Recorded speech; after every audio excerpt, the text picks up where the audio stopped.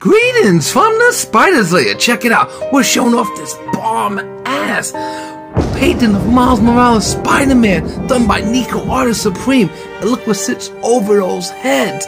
That amazing Spider-Man, Miles Morales number one indeed. Oh my gosh, so much heat cannot be beat in the streets. That's not why we're here, everyone.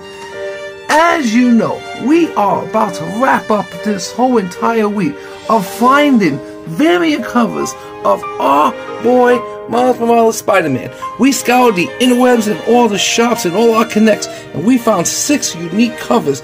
And this right here is going to be our sixth cover out of six today in the lair. So it is the morning time in the lair, and you know what that means. Spider-Verse is standing strong. We're gonna get to this last one right now, so check it out. Look at that! Wow! Miles Morales Spider-Man number 42 variant edition. So let's see. This one is the fourth variant, because you can tell by that four as you can see. Wow, this is really clean indeed. Let us know if you guys like that cover though, because we think it's pretty cool. And that's gonna always be the way we go in the Spider-Verse indeed. That's gonna wrap it for this week. Thank you all for showing up and showing out. And so, we hope you guys enjoyed our final unveiling from the Spider's Lair. Peace and love, everyone. And remember, the Spider-Verse is standing strong. We are out.